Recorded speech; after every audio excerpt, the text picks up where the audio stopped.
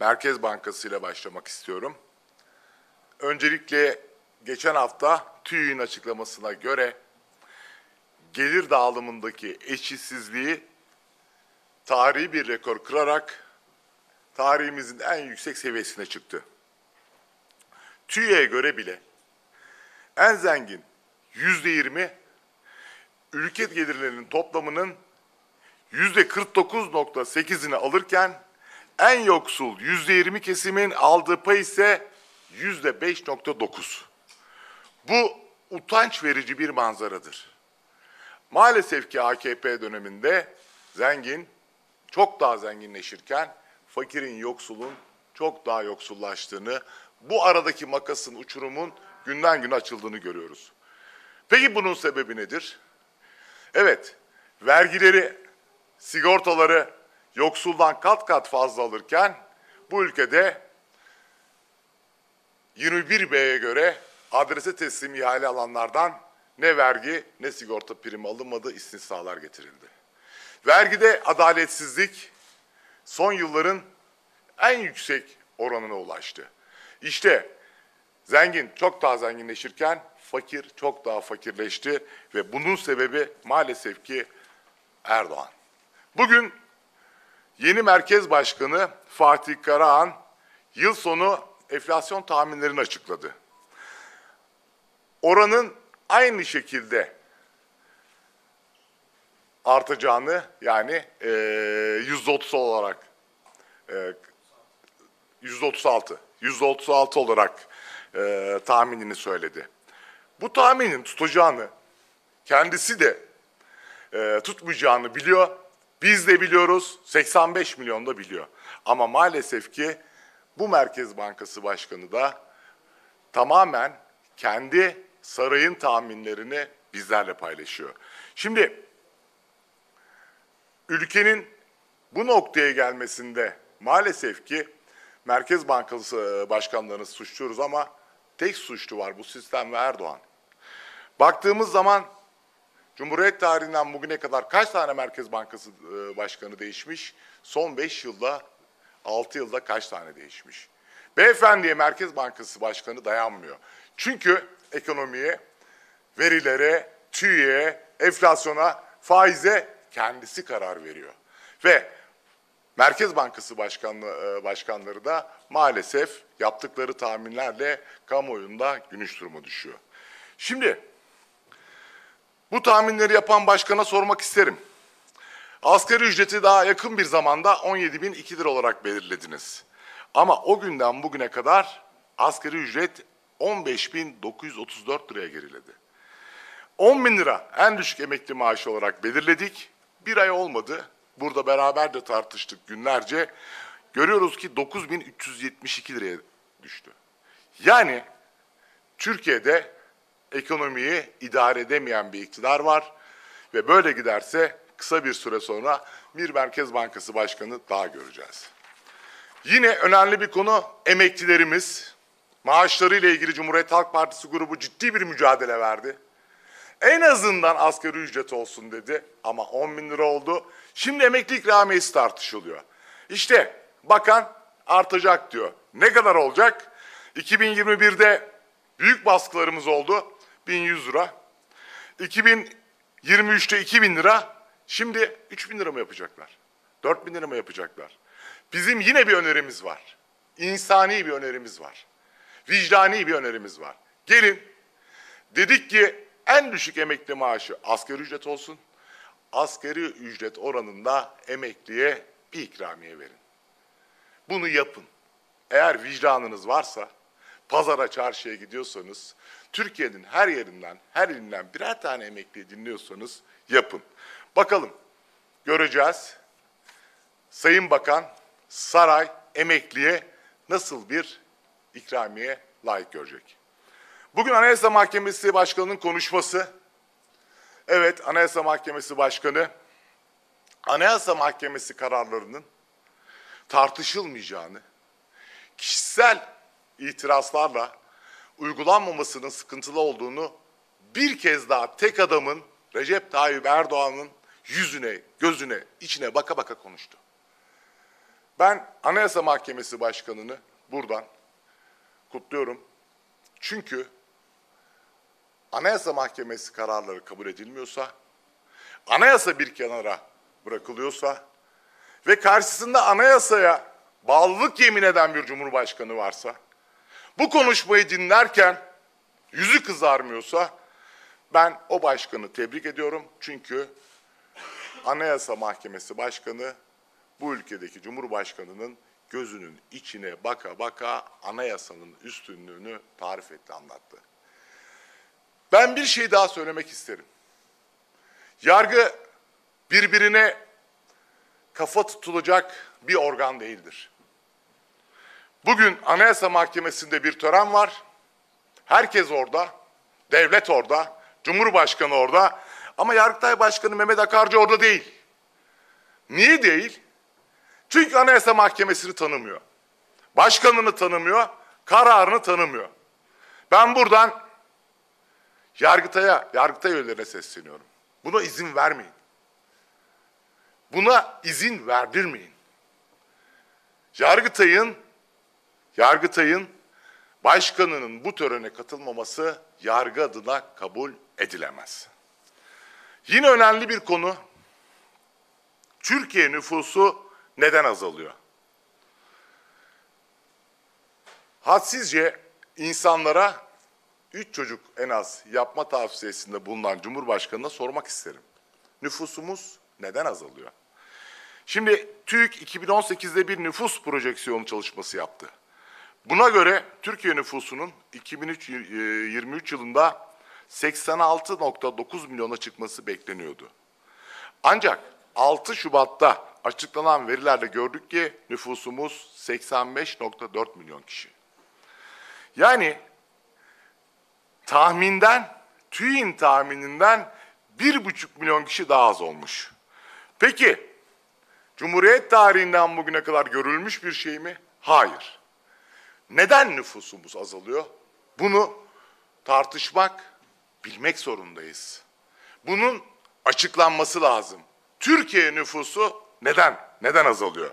Bir, evet 6 Şubat depremi önemli. Orada da yanlış veriler verdi. 50 bin yurttaşımızı kaybettiğimizi söylediler. Biz en az 150 bin dedik. Murat Kurum bunu itiraf etti.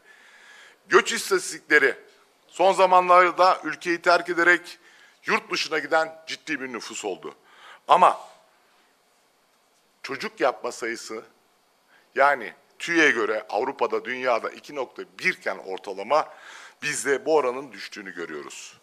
Türkiye'de 1.62 olarak gerçekleşiyor. Şimdi 3 çocuk yapan Cumhurbaşkanı'na buradan sormak isterim. Nüfus niye azalıyor? Türkiye'ye 10 milyon tane yaklaşık sığınmacıyı getirdin. Onların ne kadar çocuk yaptığını ve sığınmacı nüfusunun ne kadar arttığını bilemiyoruz. Ama bildiğimiz bir şey var, bizim nüfusumuz beklenen oranda artmıyor. Avrupa'nın da gerisinde. Neden? Bir bebeğin masraflarına bakalım. Bir çocuk dünyaya geldiği zaman ne gerekiyor ona? Bebek bezi masrafı ortalama 2.2400 lira. Sadece mama masrafı 1250 lira. Yani ortalama bir çocuğun 7-8 bin lira civarında aylık gideri var. Dünyaya gelen, yeni dünyaya gelen bir çocuğun. Peki askeri ücret ne kadar? 17 bin lira. Ben buradan sormak isterim. Bu şartlarda insanlar bir çocuk dünyaya getirdiği zaman bakıp, büyütüp, besleyebilecek mi? Hayır. Bunun sorumlusu kim? Saray. Saray yönetimi. Peki çocuğa gelmeden önce insanlar evlenebilecek mi? Sadece ev eşyalarının değeri 500 bin lira.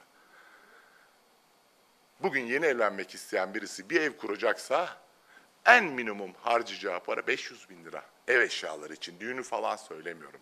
Maalesef ki bu ekonomik sıkıntı, bu buhran, AKP'nin son 6 yılda ülke getirdiği nokta bu. Eğitimden sağlığa, ekonomiye kadar yaşanan sıkıntılar nüfusumuzda da azalmaya gitti. Diğer bir konu, Batman'da yaşanan bir rezalet. Batman milletvekili ve Hüdapar aynı zamanda Batman Belediye Başkan adayı Serkan Ramanlı okulları geziyor. Sınıflara giriyor danışmanlarıyla, Gençlik Kolları Başkanı'yla. Hüdapar denen partiyi bir kez daha söylüyorum Hizbullah'ın terör örgütü olmadığını söyleyen, Türkiye'de özelliği tartışan, bu partinin Batman adayı benim okullarda sınıflarına girip propaganda yapabiliyor. Buna kim izin veriyor? Cumhuriyetle, Cumhuriyetin değerleriyle örtüşmeyen, sürekli eleştiren, Hizbullah'ı terör örgütü olarak görmeyen bu partinin milletvekilinin ve belediye başkan adayının Batman'da, liselerde, sınıflarda ne işi var? İşte ülkenin geldiği nokta bu. Çünkü AKP ile mecliste ittifak halinde, ittifak olması onun sınıflara bile girip oy istemesine yetiyor. Yazıklar olsun. Dün önemli bir konu, devlet bankaları CHP'li belediyelere kredi vermiyor. Şimdi vermesini de beklemiyoruz. Ben Ziraat Bankası'nın yönetim kurulundaki AKP'lileri birkaç tanesini söyleyeyim. Veysi Kaynak, 25-26. dönem AK Parti milletvekili. Fatih Aydoğan, İBB AKP meclis üyesi. Fazlı Kılıç, AKP eski Kağıthane Belediye Başkanı. Geliyorum Vakıf Bankı AKP'li yönetim kurulu üyeleri. Cemil Ragıp Erdem, Erdoğan'ın ekonomi danışmanı ve Cumhurbaşkanlığı Ekonomi Politika Kurulu üyesi. Abdülkadir Aksu, hepiniz tanıyorsunuz eski İçişleri Bakanı. Adnan Ertem, Çalışma ve Sosyal Hizmetler Bakan Yardımcısı. Abdullah Erdem Can Timur, eski AKP milletvekili. Haydar Kemal Kurt, eski AKP milletvekili. Sadık Yakut, tanıyorsunuz, eski AKP milletvekili. Halk Bankası'na gelelim. Merit Uysal, eski AKP İBB Başkanı. Meltem Taylan Aydın, Erdoğan'ın danışmanı. Maksut Serim, Erdoğan'ın danışmanı. Ebu Bekir Şair, Rütük Başkanı.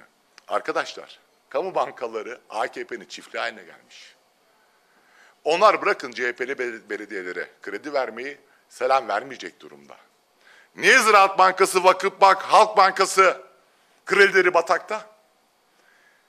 Niye ödenmeyen milyarlarca lira kredi var? Ha demir önüne dokunmayacaksın. Aradan yıllar geçti.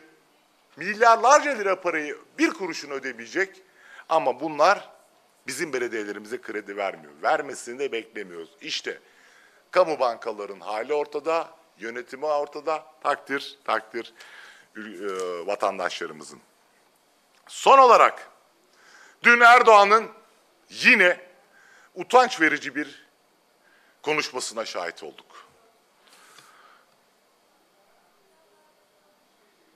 Bu beyefendi her seçime giderken ekonomi, sağlık, eğitim, işçiye, millete, çiftçiye verebileceği hiçbir şey olmadığı gibi maalesef ki Cumhuriyet Halk Partisi'ni suçlayarak terörle ilişkilendirerek kampanya yapıyor. Arkadaşlar, Çağlayan'daki olay hepimizi üzdü. Her terör vakası hepimizi üzüyor ve kahrediyor. Ama ben Erdoğan'a buradan seslenmek isterim. Sen bu ülkeye geldiğinde adliyede savcılar öldürülmüyordu. Adliyelere insanlar elini kolunu sallayarak girip ateş açmıyordu. Sen bu ülkeye geldiğinde 2000, 2001, 99, 98'de bu meclis bombalanmıyordu. Sen bu ülkeye geldiğinde iki askerimizi diri diri yakan işit canisi elini kolunu sallayarak Gaziantep'te İstanbul'da ticaret yapıp dolaşamıyordu. Bu ülkeyi bu hale getiren terör canavarını yaratan sensin Erdoğan. O yarattığın canavarlarla bizi ve halkı korkutmaya çalışıyorsun. Hayır senden korkmayacağız. Halk da artık uyandı. Sen çıkıp konuşacağın şeyler ekonomi, emekli, işçi, öğrenci, kira ne durumda bunları konuş. Belediyelerimizi tehdit etme. Sen Hatay'da bize oy vermediğiniz için hizmet alamadınız diyecek kadar zalimsin. Biz bunları yaşadık bakın. 89'da eli kolu bağlı bir belediye başkanı ister miydiniz? Evet. Belki belediye başkanlarımızın elini kolunu bağlamaya çalışıyorsun ama hiç hiç hiç bunu başaramadın.